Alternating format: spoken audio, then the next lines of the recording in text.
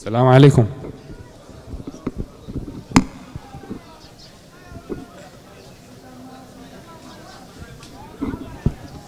الكتاب ده مزور؟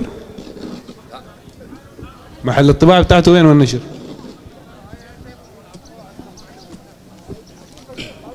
طيب سؤال قال الكتاب ده ما مزور؟ لا الكتاب ما مزور. سأل قال وين محل الطباعة والنشر؟ طيب. قال لك جميع الحقوق محفوظة. جميع حقوق الملكية الأدبية والفنية محفوظة لمكتبة التوفيقية القاهرة مصر ويحظر طبع أو تصوير أو ترجمة أو إعادة تنفيذ الكتاب كاملا أو مجزأ أو تسجيله على أشرطة كست أو إدخاله على الكمبيوتر أو برمجته على اسطوانات ضوئية إلا بموافقة الناشر خطيا. التجهيزات الفنية دار التوثيقية للطباعة رقم الإيداع بدار الكتب. من الشمال لليمين 3841 2011 الترقيم الدولي. ISBN 9789723233484 تفضل. ممكن فرصة أسبوع أنا أجيب لك النسخة الأصلية من الكتاب ده؟ ده ما مقتنع به. ما مقتنع به والله. كتب كنت أنا كلها ما قاعد أقتنع بها. ورينا السبب ما سامعين؟ أسبوع. فرصة أسبوع أنا بجيب لكم النسخة الأصلية. كتب كنا أنا كلها ممكن عندي لها نسخة أصلية. عندي خالي؟ عندي خالي؟ الكتب دي كلها عندها منها نسخة. عارف عن شنو؟ والله أنا ما أعرف عنه أي حاجة. بشيل اسم الكتاب ده. بشيل اسم الكتاب ده. بجيب لكم منه النسخة الأصلية. الكلام ده بتلقاه فيه. إن شاء الله. طيب إن شاء الله الأسبوع الجاي لما يجي يلقاه سبت بإذن الله. طيب آه، أما الكتاب هو معروف في حاجة اسمها حقوق. الحمد لله والصلاة والسلام على رسول الله. معروف عنده حقوق بتاع الطبع ومعروف الآن آه كيف إنك تثبت كتاب لمؤلف؟ عندك واحد من طريقتين. الطريق الأول أن يعترف به المؤلف و و ويكتب رقم الإيداع. وأنت عارف رقم الإيداع ده عبارة عن شنو؟ يعني أنا ألفت مؤلف مثلا ألفت مذكرة في الحسبان مثلا يعني. بمشي المسجل بتاع حقوق الملكية الفكريه الفكرية بديه 15 مليون أو 20 مليون.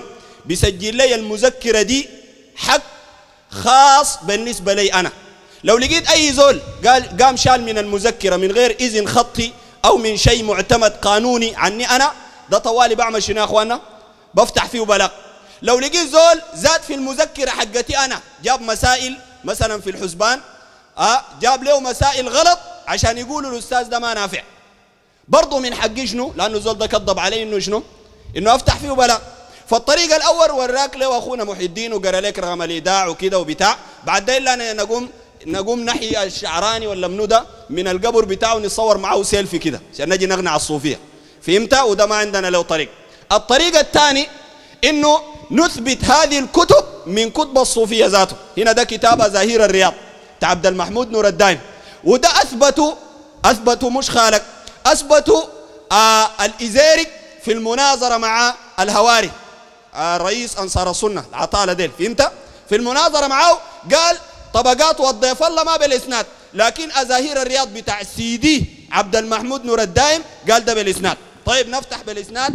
صفحة 134 في بيان ما أكرمه الله به من فسحة أجل من حضرت لقبض روحي ملائكة القبض عليهم السلام وشبه ذلك. قال من كرامات أحمد الطيب البشير إنه الملائكة بتجي تقبض. الكلام اللي قال لك شيخ محي الدين بقرأ لك من هنا. وهسي لو داير ادي الكتاب يتابع معي. فهمت؟ ف فده ده بيقول إنه من كرامات أحمد الطيب البشير إنه لو داير لو داير روح زول من الناس جملك الموت عشان يقبض روحه عادي ممكن يزيد له في الأجل ويرجع ملك الموت وهذه ليست الكرامة الواحد الوحيدة لأحمد الطيب. بقرأ لك صفحة كاملة أو أكثر من صفحة من الكرامات. وقام جاب لها كرامات لصوفية تانيين من طرق تانية يثبتون فيها أن أولياء الصوفية يهرشون ملائكة القبر. كفرا من الصوفية بآيات في كتاب الله. وأعني كفرا بالصوفية الشيوخ بتاعنا الصوفية. وإلا في ناس مساكين زي أخونا ده ما عارف إنه الكتاب كتبه منه أو هل ده حقه أو ما حقه لغاية ما يتأكد من خاله. وإنت ذاته تجيب خالك لو هو ما متأكد نحن بنقنعه. فهمت؟ طيب نفس الكلام اللي قرا لك شيخ محي الدين قبل شوية بتاعت محمد الشربيني. مش قال لك طرد ملك الموت؟ هنا الصفحة 134 نفس الكرامة ترس منه منه عبد المحمود نور الدين الكفر بترسوا من بعض. قال ونظير هذه الحكاية. بعد ذاك بجيك للحكاية ذاتها. ما ذكره سيدي عبد الوهاب الشعراني. وطبعا دي أخواننا بيعرفوا الناس في مناهج البحث. بيقروك الآن بعدين لما تجي تعمل بحث ها تتخرج بيوروك إنك كيف تنسب المعلومة وت و- وترجعها للمرجع جبت منه وبعد ذاك المراجع الموجودة في البحث والكلام ده. الحمد لله نحن هنا في جامعات يعني ما ما بغشونا بأنه الكتاب ده ما حقنا. لا لا إحنا ما بنخليك. ما حقك تقوم تطلع بيان. ليه بس لما لما يتعصروا كده لا ده ما حقنا. قبل العصر وين؟ قبل العصر وين؟ البيان بتاعكم وينه؟ الكتاب اللي بيرد على الكلام ده الكتب دي الآن تباع في مكتبات. شرق البسطة ام درمان الجامعة الكبير. مكتبة الجامعة الكبيرة الخرطوم. فراشة في الواطة. ال ال ال ال ال اللي اسمها شنو دي؟ الدار السودانية للكتب. بتبيع كتب الصوفية. ليه الصوفية ما يفتحوا بلاغات في هذه الدور بتاعت النشر ويخلوها لغاية ما نحن نجي نكشفهم بها؟ ولما يتعصروا بعد ذاك الواحد يجي يقول لا دي ما حقتنا. لا لا دي حقتك. لكن اللي فيها كفر وانت ما داير الناس يكشفوا الحاصل. قال في ترجمة سيدي محمد الشربيني قال لما ضعف ولده أحمد وأشرف على الموت حضر عزرائيل لقبض روحه قال له الشيخ ارجع إلى ربك فإن الأمر قد نسخ. فرجع عزرائيل وشوفي أحمد من تلك الوع الوعكة وعاش بعدها ثلاثين عاما.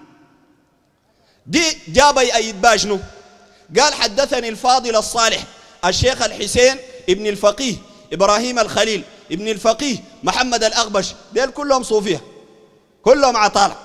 قال مرضت مرضا أشرفت فيه على الهلاك إلى أن يئس كل الناس من حياتي فجاءتني ملائكة القبض لقبض روحي. وأنا بوريك بالأدلة إنه ده كله كلام فارغ وباطل ومناقضة ومعارضة لكتاب الله. قال فرأيت سيدي أحمد الشيخ أحمد الطيب رضي الله عنه وهو قريب منهم يقول لهم أما قلت لكم لا تقبضوا روحه؟ فرجعوا عند ذلك. ها قال لهم أنا ما قلت لكم. زي الشغل بتاع زي الشغل بتاع الجماعة دي يقول لك أنا ما قلت لك الشخيط ده شغل الشفعة بس. الشخيط ده مش قلت لك ما تقرب منه.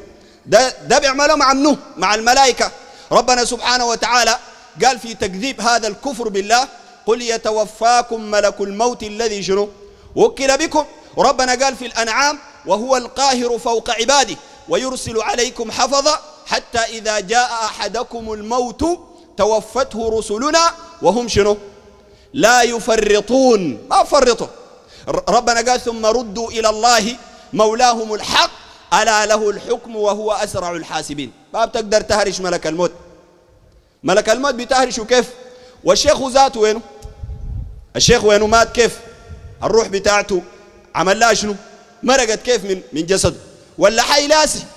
عبد المحمود والقبة ديك فوق شنو القاعده في طابت؟ ده كلام شنو ذاته؟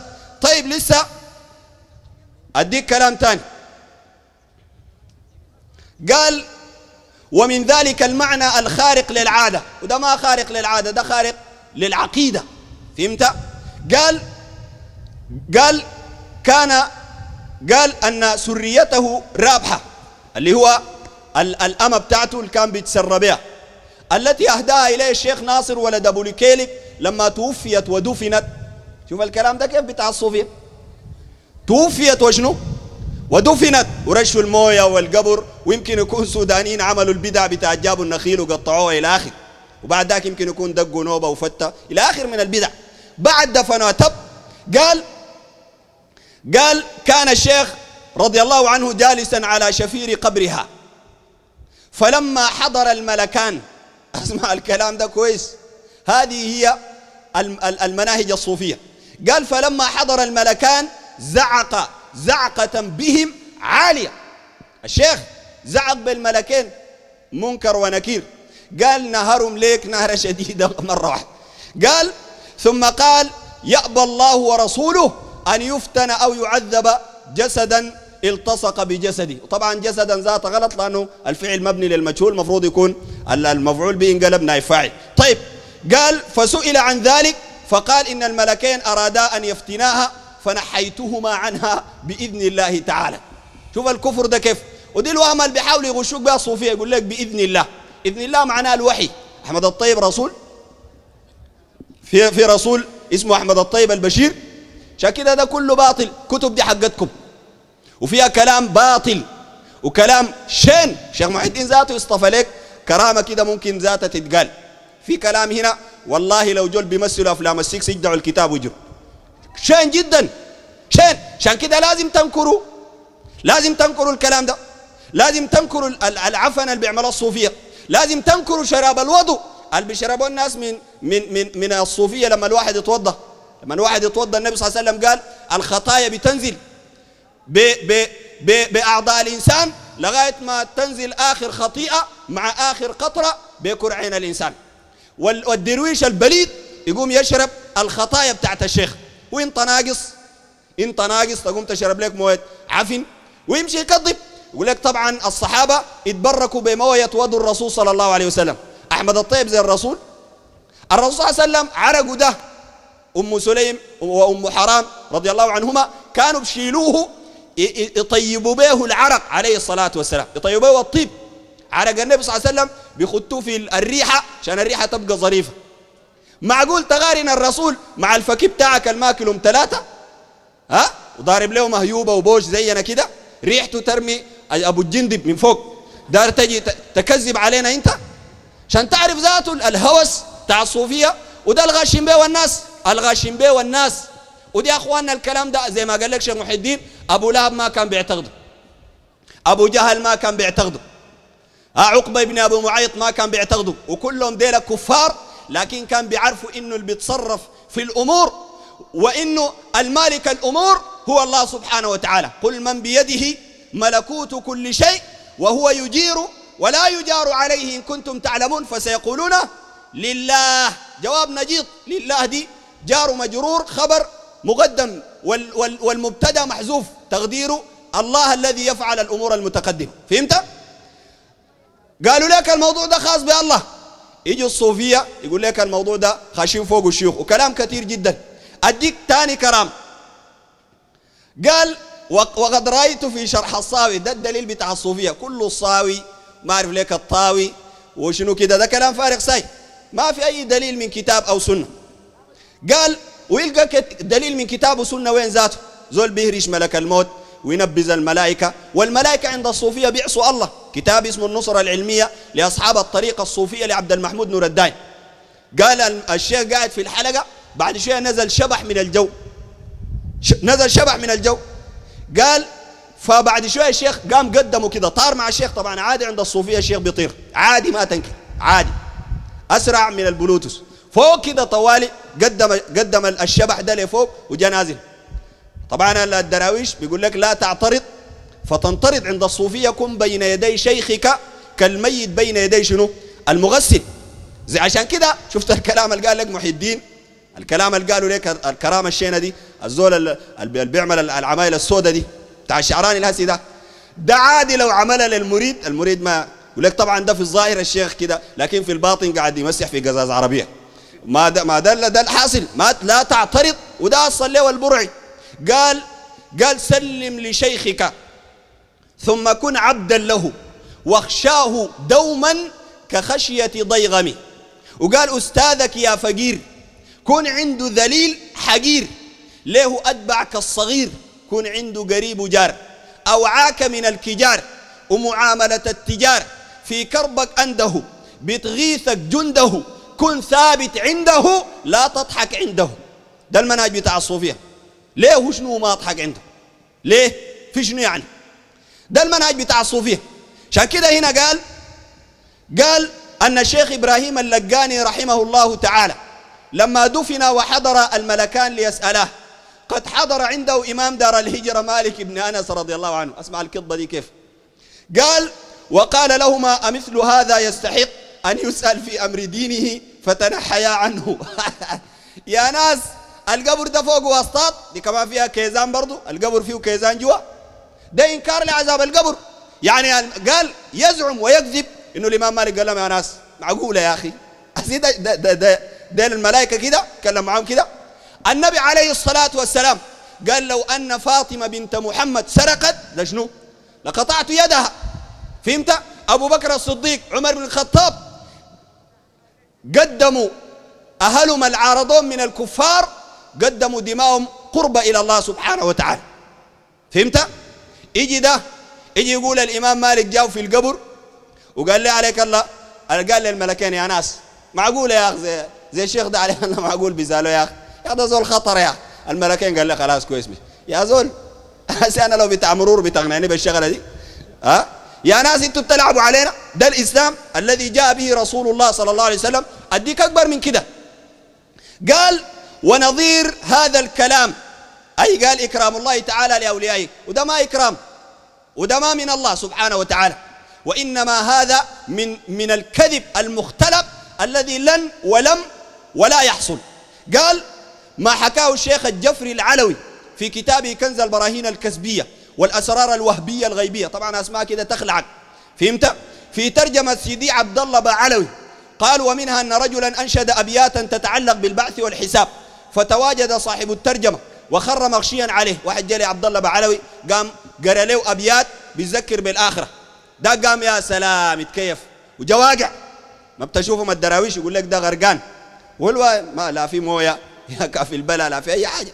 الماسورة قاطعة يقول لك غرقان. طيب قال له أعد الأبيات. قال له يا سلام أبياتك دي ذكرتنا وكده. رجعن تاني. قال له بشرط أن تضمن لي الجنة. داك. قال له بشرط أن تضمن لي الجنة. قال له ليس ذلك لي ولكن أطلب ما شئت من المال. قال له أنا ما ما ما, ما بضمن لك الجنة لكن أي قروش بديك لها. قال له ما أريد إلا الجنة. قال له بس ده قالوا راكب راسه بس داير الجنة بس. فده قام قال له إن حصل لنا شيء ما كرهنا ودعا له بالجنة. يا قال له يا أخي انت مالك كده. وقام شنو؟ دعا له بالجنة قال. لغاية لو قال دعا له بالجنة وسكت آه لا, لا يمكن تكون المصيبة أهون. قام قال له قال فحسنت حال الرجل وانتقل إلى رحمة الله تعالى وشيعه صاحب الترجمة وحضر دفنه وجلس عند قبره ساعة فتغير وجهه ثم ضحك واستبشر فسئل عن ذلك فقال إن الرجل الميت. لما سأله الملكان عن ربه قال شيخي عبد الله بعلوي فتعجبا لذلك. من ربك؟ قال عبد الله بعلوي. منكر عين لنكير قال له لاقاك بيشن زي ده؟ طبعا ما حصلت. قام قال ثم قال فتعجبا لذلك ثم سألاه أيضا فأجاب بذلك. ثاني قال لك أنا أكرر لك. معناه حديث الرسول صلى الله عليه وسلم ده غلط. حديث الرسول صلى الله عليه وسلم غلط. النبي صلى الله عليه وسلم قال بيزالوك ثلاثة أزلة. وما في عادة وامتحان وملاحق ده ما في. أو تكون شايل مادتين وتمشي السنة البعدية ودي مادة أساسية ودي مادة تخصص ما في كلام زين. بيسألوك من ربك؟ جاوبت وربنا وفقك بيمشوا للسؤال اللي بعديه ما جاوبت قلت ها ها لا أدري برضه شنو؟ بيمشوا للسؤال اللي بعديه لغاية إما تجاوب كل وتنجو برحمة الله وإما, وإما ما تجاوب أو ما تجاوب سؤال واحد وبعد ذاك أنت تكون من الفجار كما قال النبي عليه الصلاة والسلام. لكن عند الصوفية عند الصوفية إنه عادي الشيخ بيلقاك. عشان كده النيل أبو قرون خليك من الكتب. عنده قصيدة اسمها يا ليلى ليلك جكن. طبعا ليلى عند الصوفية معناه الله. زي ما أصل عبد المحمود نور الدائم قال واتفقوا على أسماء أطلقوها على الذات الإلهية منها دعد ولبنى وليلى وسلمى. وده بتلقاه في تائية ابن الفارض. المهم ده كلام طويل إن شاء الله بيجي بزمن المهم فقام آه. نحن كنا وقفنا وين ذاته؟ أبو قرون. أبو قرون قال يوم الحلوق الكظم. أبو قرون بجيشه تنظم أنت عارف يتنظم؟ ماشي ماشي يفصل ناس الفاكر والجماعة ديل.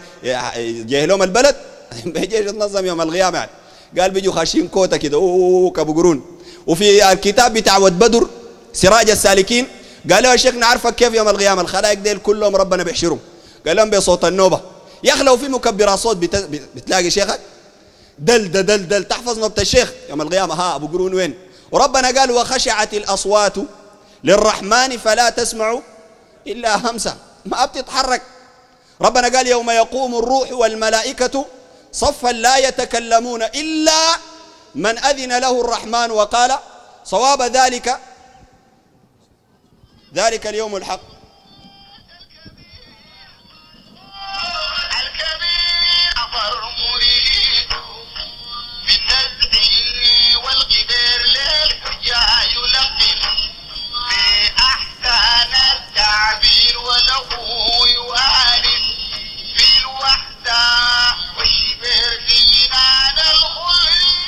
عرفتها؟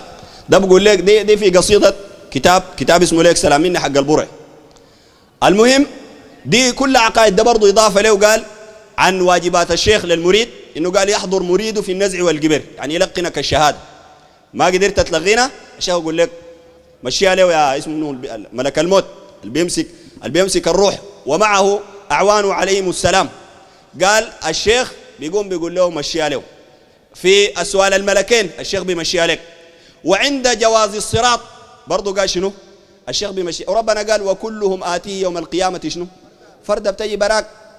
لكن يا أخواننا ده الكلام ده غشوا به وهنا أنا ما بقول الكلام ده. وأنا ثقة إن شاء الله إنه الزول الطالب الجامعي إنه إن شاء الله زول واعي. إلا ال- القليل أو أقل القليل من الصوفية المتكوزنين. أصلا صوفية صناعة بتاعت كيزان. made in كيزان. فهمت؟ الكيزان حرشوهم لأنه بقى ما عندهم خطاب في الجامعات. عشان كده بس حرشوا الصوفية ديل عشان يشتغلوا. ديل بس البهايم ديل ديل يا هم الناس ال- الما الما بيفهموا. لكن الحمد لله بقيه الطلبة ناس فاهمين. ناس فاهمين. وأنا قلت بهايم لأنه ربنا قال انهم إلا كالأنعام بل هم اضلوا سبيلا. فأرجع وأعتذر للبهايم والحمير والجداد. فهمت؟ فده الناس مجرمين.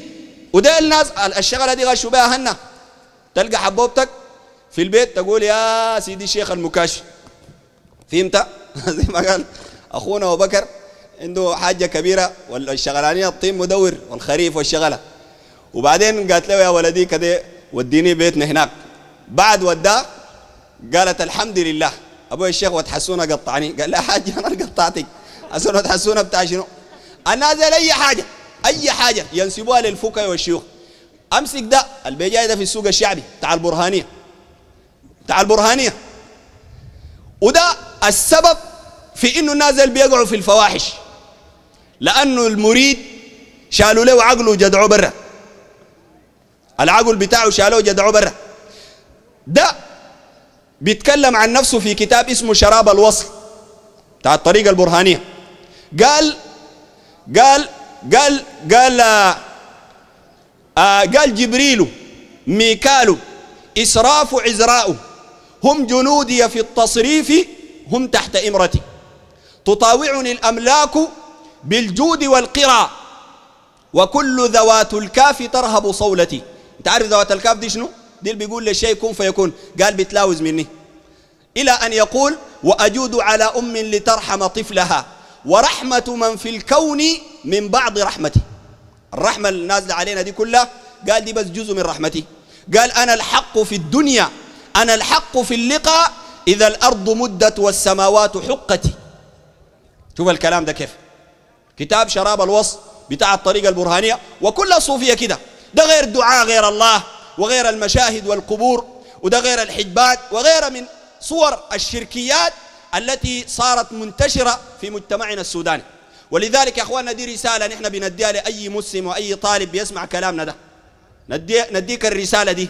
أهم حاجة مش تلتزم بها توصلها لغيرك هي العقيدة الصحيحة.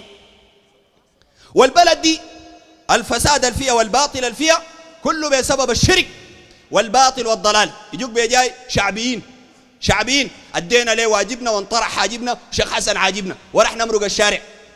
ها؟ ورح نزيل النظام. لأنه الدولار غلى والعيش و إلى آخر. سببه شنو؟ نوعيتك دي يا شعبي يا مرضان. شيوعي شيوعيين شغالين. ناس وحات الشعب السوداني قدام المدفع تلقاني. حكاية القرد شالت نبقة وخلت نبقة وجدعت نبقة ديل أسوأ من إبليس. ديل الشيوعيين تلقاهم شغالين. يكفروا بالله سبحانه وتعالى وينشروا الإلحاد بين الشباب.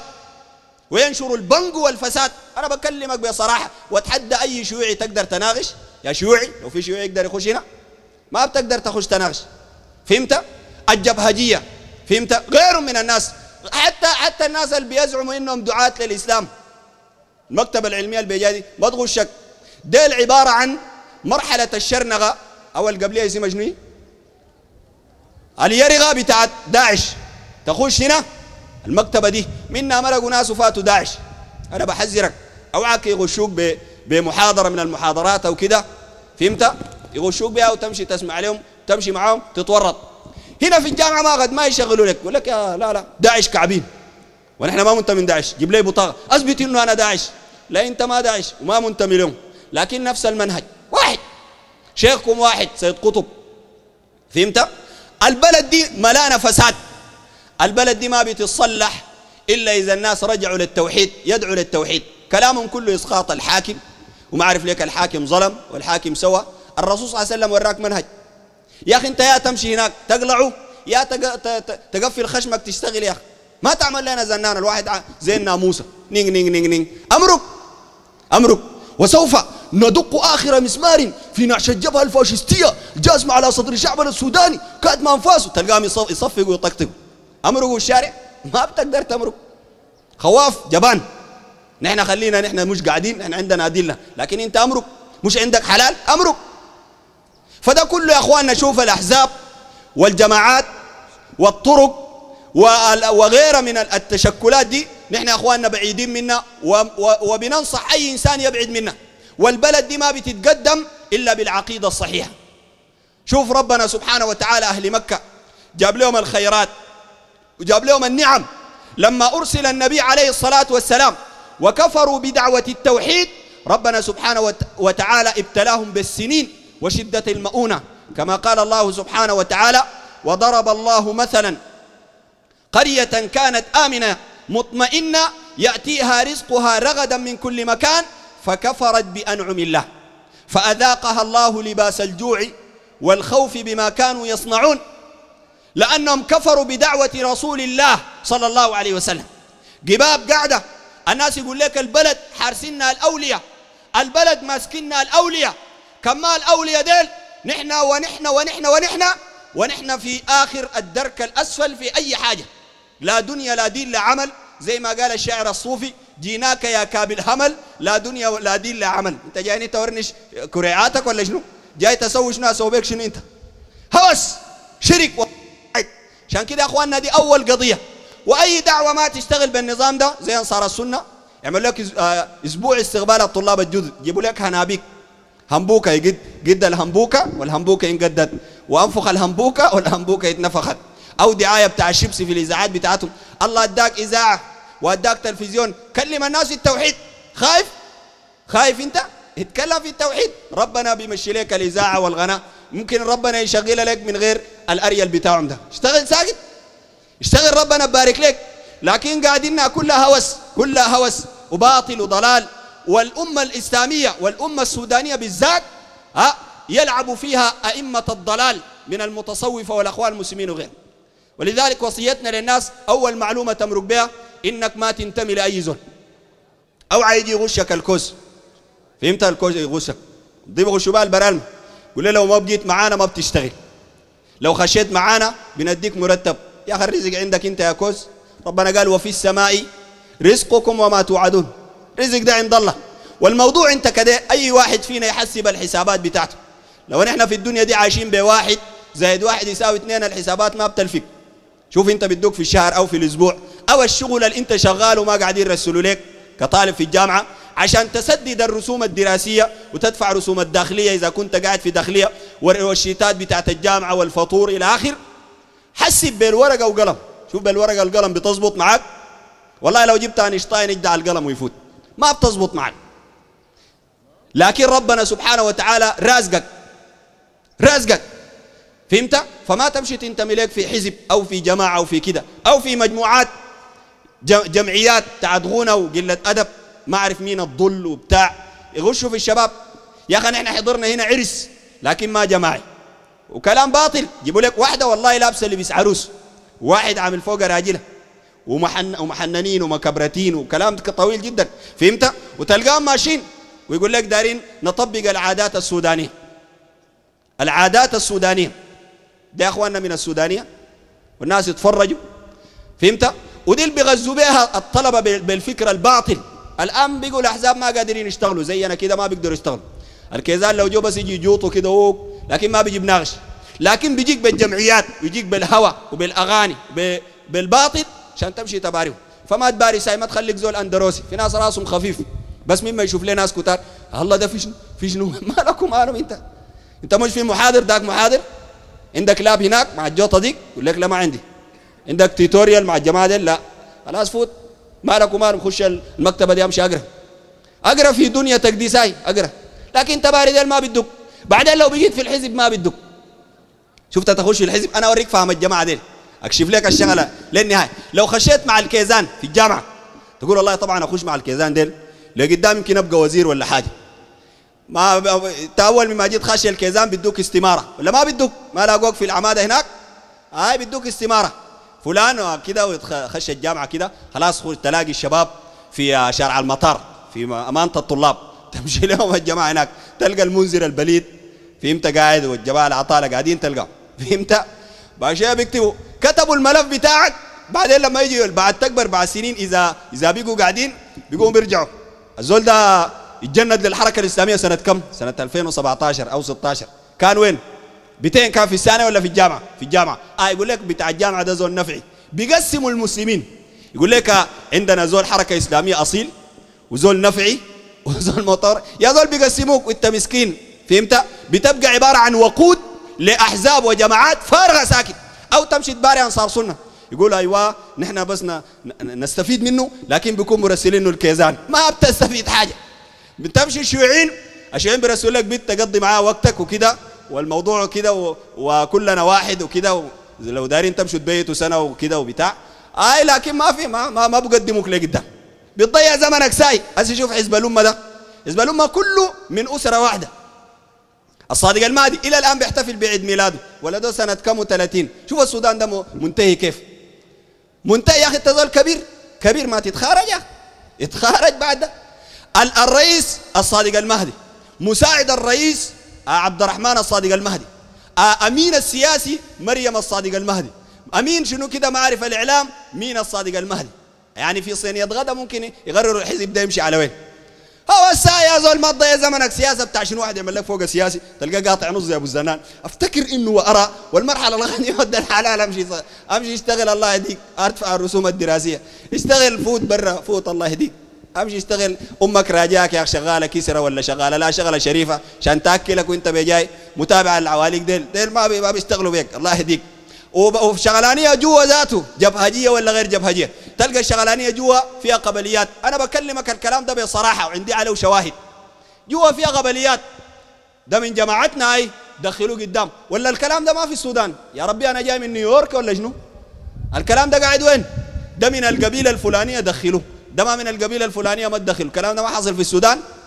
شوف أنت ده كله هوس. لو بقيت من قريش ولا بقيت من جزر القمر ولا من غيره؟ في النهاية ربنا قال إن أكرمكم عند الله شنو؟ أتقاكم. ده الفرق السودان. ودي الدعوة الزرع الترابي. قبل ما يموت عليه من الله ما يستحق. قبل ما ما يهلك دي الدعوة الزرعه في السودانيين. مشاكل دارفور ومشاكل غيرها دفع ال- الزرعه في الناس هو هذا الرجل المدعو الترابي. المهم ده كلام عام كده. وده كله من شغل إبليس. وده يدخل في جزئية من منهج إبليس وهو أئمة الضلال. الذين قال فيهم رسول الله صلى الله عليه وسلم من حديث ثوبان الذي رواه ابن ماجه وغيره قال وأخوف ما أخاف على أمتي الأئمة المضلين. أئمة بتاع ضلال يورطوا المسلمين ويدخلوا فيهم عقائد سيئة ها و و و ويردوهم عن دينهم ويصدوهم عن دينهم. وكلام يطول نفتح فرصة لو كان في زول عنده مداخلة أو اعتراض. فرصة مفتوحة. طيب قال ما تعليقكم على قتل السفير الروسي في تركيا؟ هل يجوز قتله باعتبار أنه كافر وباعتبار أن روسيا من المشاركين فيما يحدث في حلب مع الأدلة؟ ما بيجوز قتل السفراء. النبي صلى الله عليه وسلم جاءه آه سفير مسيلمة رسول مسيلمة. فقال النبي صلى الله عليه وسلم قال لهم مسيلمة كيف؟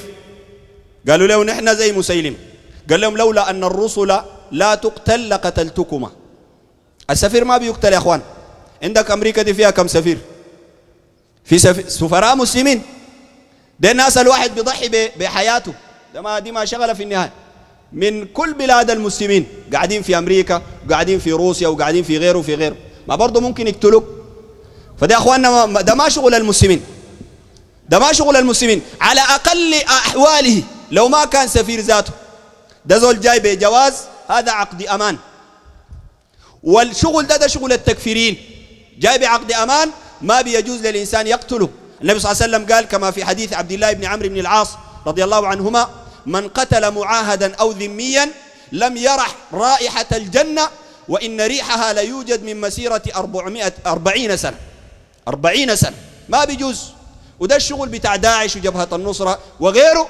الماء مبني على على أحكام الشريعة المنضبطة. ما يزول بيقتلوه. ما يزول بيقتلوه. النبي صلى الله عليه وسلم رسل سفراء رسل سفراء إلى الكفار. فما فما كانوا يقتلون إلا كسرى لما مزق الكتاب وقتل أو ما أدري. لكن في النهاية ما يقتل الرسول. النبي صلى الله عليه وسلم جو رسل من وافدين من ملوك كفار كتار وما قتلهم رسول الله صلى الله عليه وسلم. نصارى نجران جو دخلوا المسجد النبوي. دخلوا المسجد النبوي. وفي النهاية عاهدوا النبي صلى الله عليه وسلم ودفعوا مال الجزية على أن يدعهم ويتركهم رسول الله صلى الله عليه وسلم. وأمشي راجع كتاب الجهاد والمغازي وغيره من كتب الفقه من, من صحيح البخاري ومن غيره. فهمت؟ فده ما شغل الجهاد. ده ما شغل بتاع جهاد تقعد تكتل فهمت؟ وده كله يا أخواننا مارق. الموضوع ده كله مارق من التكفيريين الموجودين في العصر ده. ها؟ مارقين من سيد قطب. التكفير. جماعة داعش وجبهة النصرة وتنظيم القاعدة. وما أعرف ليك جيش منو كده في العراق وفي غيره وفي غيره. والآن في السودان اتكونت بالمناسبة. لو خشيت اليوتيوب آه يسموها شنو كده؟ آه شنو كده؟ شنو كده بالسودان؟ ال الإسلامي بالسودان أمير المجاهدين بالسودان أبو عبد الله السوداني. زول دلوكا ساكت. زول أنت داير جهاد؟ أنا أوديك أمشي أتكلم في الشيكينيبه دي قول لهم يا ناس اعبدوا الله والمكاشف ما بيعلم الغيب. عشان العمة السوداء بتاعتك دي ما, ما اذا إذا غطينا بك عينك بدت عينك الأخرى. أمشي اشتغل. ده لو ده دار تشتغل جهاد. آه في أخ. ده كله شغل بتاع لعب ساكت. شغل بتاع لعب. ويغشوا به شباب المسلمين. يلقوا الشاب. زول كان مثلا بيسمع أغاني وداير يتوب لله. داير الدين. تحول تحول من و وأراد أن ينصر الإسلام من من المعاصي وغيره وغير ذلك وهو يريد أن يدخل الجنة. ودائما الزول اللي بيكون تائب جديد بيكون قلبه منكسر وده شيء طيب. ديل يقوموا يستغلوا المرحلة دي ويغذوه بهذه الأفكار. وتشاهد الصور بتاع تعذيب المسلمين وتعذيب المسلمات واغتصاب المسلمات وغيره. وده كله كلام عارفين إنه باطل ومبجوز والواجب على المسلمين إنه ينصروا. لكن في شروط. ربنا قال وأعدوا لهم ما استطعتم من قوة ومن رباط الخير الخيل ترهبون به عدو الله وعدوكم. فإنشاء القدرة والقوة هذا واجب على المسلمين. ما طوالب تمشي تمشي تفجر. يلبسوه حزام ناسف يمشي يقتل. زي ما قتلوا مجموعة من السودانيين. فهمت؟ قتلوا واحد اسمه جرانفيل منهم ود أبو زيد. معه تاني ثلاثة ولا أربعة من السرورية التكفيريين السودانيين. ود- ودخلوهم سجن كوبر قاموا قدوا السجن بتحت عملوا حاجة اسمها عملية كسر القيد. لو خشيت اليوتيوب بتلقاه. عملية كسر الغيط. قدوا السجن كده بتاع كوبر ده. قدوه مرقوا ومشوا دارين يهربوا ب- ب- ب- بالموالح بغادي. ومشوا ضربوا ناس شرطة لغاية ما جزء مات. ناس الشرطة قتلوه جزء تاني رجعوا السجن ده جهاد. عشان كده النبي صلى الله عليه وسلم قال عن عن الخوارج يقتلون أهل الإسلام ويدعون أهل الأوثان.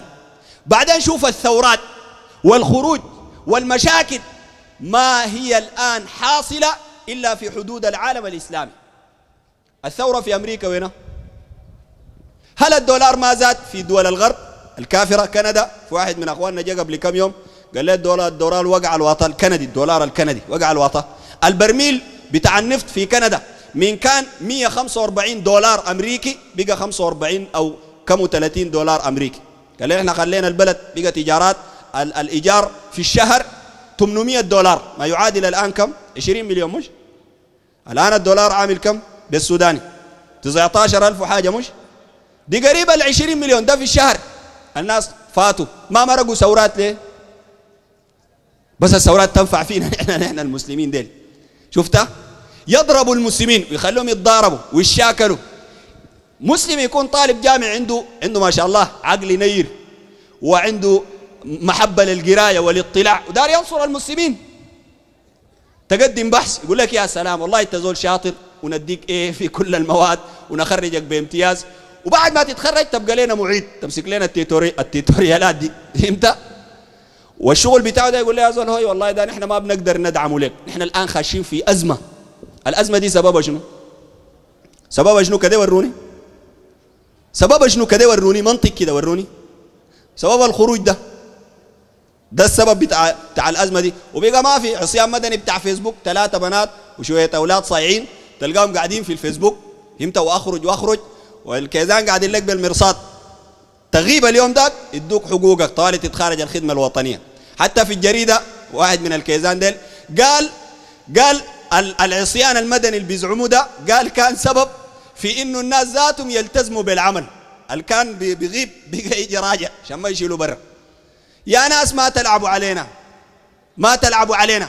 الأخوان المسلمين ناس العريفي ومين ومين ومين كان بيكوركوا بشار وكافر وملحد و و و وكتل الناس ونصيري ويزعم ويفعل. عارف إنه كافر؟ وين القيود والشروط بتاعت الجهاد؟ هسه يا أخواننا ها؟ زول دار يمشي الحج بس طوالي كده بي- بي- بيمشي صالة الحج وطوالي بيركب الطيران أنا سويا حج الله. حج الله السوداني مالكم. عليك الله خمس لي خليني أركب معاك. ده بيع... كلام ده بيجي هل ربنا آخذك؟ لو منعك تقول زول أنت أنت دار تمنعني دين الله وأنت كافر مشرك منعتني من فرائض الله. ربنا سبحانه وتعالى قال لك الجهاد ده لمن استطاع إليه سبيلا مش. ال- ال- الحج. الجهاد نفس الشيء. الجهاد نفس الشيء. فالناس ما عدت ال- العدة وما عدت القوة. الناس دارين يمشوا يقاتلوا ها؟ دارين يمشوا يجاهدوا. فده كله يا إخواننا مرق مرق الإفساد والفساد الحاصل. عشان كده الآن برضه خش اليوتيوب. جون كيري الوزير الخارجية الفات بتاع أمريكا في مجلس الشيوخ. كان كانت الحكومة أو الادارة الأمريكية. طبعا هناك ما حكومة هي إدارة. ليه؟ لأنه الحكومة اللي بتجي بسياسات جديدة. لكن الإدارة اللي بتنفذ شنو؟ السياسات الموضوعة. عشان كده الأمريكان الآن الزول بيتحير. ليه أخواننا جابوا زول بتاع عقارات ترامب ده؟ وبيقولوا كان مصارع. وممكن يجيبوا لك واحد بتاع كورة وبيسبول. ليه يجيبوا رئيس؟ لأنه إدارة. الإدارة دي ما عنده حاجة جديدة بسويها. يعني ما ممكن مدير جامعة السودان يجي يعملها كافتريات صح؟ ما زول مدير هتجي تنفذ منهج معين. الم... ال... الإدارة الأمريكية الرئيس الأمريكي ده الدستور ده ثابت. ولا شنو يا عمار؟ مش أول كلام كده؟ عرفتها فدي الشغلة كده. الناس ديل. كويس؟ جون كيري قال نحن دعمنا جماعة الإخوان المسلمين ب 8 مليار دولار على أساس إنه يتنازلوا من 40% من سيناء. 40% من سيناء. يتنازلوا بها للإسرائيليين. دفعوا عليهم دفعوا عليهم ولذلك يا أخواننا السبب بتاع الحاصل في السودان ده وفي العالم الإسلامي جماعة الإخوان المسلمين. مش يتحالفوا مع الشيعة. الان الآن بشار الأسد شنو ما زول شيعي. اللي بيضرب بيموتوا منه بيموتوا أهل السنة الذين يحبون أصحاب النبي صلى الله عليه وسلم ولا يفرقون بين أحد منهم. والشيعة قاعدين يكتلوا فوقهم. بسبب ماذا؟ بسبب ما يفعله جماعة الإخوان المسلمين. ولذلك يا أخواننا آه نحن وصيتنا للناس وصيتنا للناس إنك ما ما تنتمي لهذه الجماعات والأحزاب. وتعلم أول معلومة تخدها في صدرك إنه سبب ضياع ال- المسلمين الآن أو كثير من المسلمين الآن هم هذه الأحزاب التي تزعم أنها تدعو إلى الإسلام. يا أخي أنت ناس بيقعوا في الشرك زول لاقي راسه مفتوح في حادث ولاقي أصبعه الصغير معوق بتبدأ بشنو كدكتور؟ تدار تعالج تبدأ بشنو؟ تبدأ بالأكبر. ده لاقين المسلمين ناس واقعين في الشرك. يا أخي في الأبيض هناك في. في واحد اسمه راجل السبت. راجل السبت ده مدفون في الشماليه بس يوم السبت قالوا بيقطع منا الشمالية للابيض بالواطه تحت. كويس؟ وبيجي في بيان. بيان ده معناه ما في قبر لكن في في محل كده قالوا هو محل اللي بيظهر فوقه الشيخ. والنسوان الدائرة عرس تمشي تشيل من المحل داك والدائرة ولد تمشي تشيل.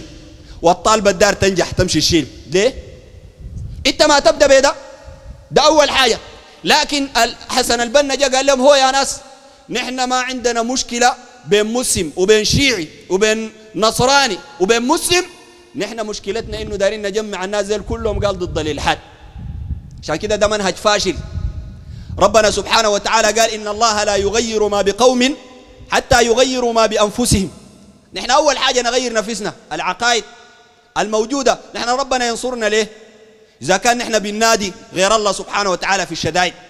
يجيبوا في تلفزيون السودان وفي قناة النيل الأزرق والبدر وبتاع الكباشي بيقولوا أبونا الشيخ ربنا سبحانه وتعالى أداه كن فيكون على لسانه إذا قال إذا قال للشيء كن فيكون. ده كله موجود الآن. موجود الآن. ودارينا نحن العيد ال- ال- ال- العيش يكون رخيص والمعيشة تبقى هنيئة ونحن نستمتع ها؟ ونمشي في نعم الله سبحانه وتعالى. الشرك بيمحق البركة. بيمحق البركة. الشرك بيمحق ال- المال. بيمحق الثروات. شوف السودان ده ملان كيف؟ السودان ده داير فيه حديد داير فيه ذهب داير فيه فضة داير فيه مغنيسيوم داير فيه يورانيوم داير فيه أي حاجة قاعد. داير مطر داير مروي داير نيل داير بحر كله في السودان. داير طين داير رملة داير قريرة كله قاعد في السودان. داير جو بحر أبيض متوسط داير جو سافنا فقيرة سافنا غنية سافنا بتشحد كله قاعد في السودان. أنا إحنا مشكلتنا في شنو؟ ها؟ مشروع الجزيرة. الشيوعيين ينظروا براهم. كيزان ينظروا براهم. الشيوعيين ولا سي ما صلحوا. مالكم في شنو؟ في قباب. قباب. أبو حراز تلقى فيها 700 قبة. ده شنو ده؟ مطره بفوق والنيل قريب. وغير الترع الماشية. أقول لك يا أخي والله ال ال ال ال ال الفدان والجدعه بقت ما بتجيب أي حاجة. المزارع يطلع بعد نهاية الموسم ها مفروض يمشي يسدد ديون ده كله سببه شنو؟ الشرك بالله. ربنا قال ظهر الفساد في البر والبحر. ابن كثير قال الفساد هو وغيره من والقرطبي وغيره من العلماء قالوا الفساد هو غلاء الأسعار وذهاب البركة وهذا قول ابن عباس. وبعض العلماء قالوا هو الشرك قال وهذا فيه نظر وإنما الصحيح هو ذهاب البركة وغلاء الأسعار وشدة المؤونة و و و وصعوبة العيش المعيشة بسبب شنو؟ ربنا قال بما كسبت أيدي الناس ليذيقهم بعض الذي عملوا لعلهم شنو؟ يرجعون قل سيروا في الأرض فانظروا كيف كان عاقبة الذين من قبله كان أكثرهم مشركين عشان كده يا أخواننا الشرك ده أكبر مصيبة ربنا قال وعد الله الذين آمنوا منكم وعملوا الصالحات ليستخلفنهم في الأرض كما استخلف الذين من قبلهم ولا يمكنن لهم دينهم الذي ارتضى لهم ولا يبدلنهم من بعد خوفهم أمنا. الشرط شنو؟ يعبدونني لا يشركون بي شيئا. حتى يعلم الإنسان أن الشرك بالله يمحق البركات. إن شاء الله نقف للحدة ونواصل إن شاء الله في الأسبوع القادم ونحن على وعدنا. المتحدث القبيل أو الأخ القبيل السائل قال إنه حيجيب لنا الكتاب ويجيب لنا هل هو إنه يعني مغشوش أو زوروه على الصوفية أو كده أو كده. إن شاء الله يجيبوا لنا. ونحن إذا لقينا إنه الكلام باطل ما عندنا مشكلة بنرجع ونتوب إلى الله سبحانه وتعالى قدام الناس. ما عندنا مشكلة. الأزلة خلوها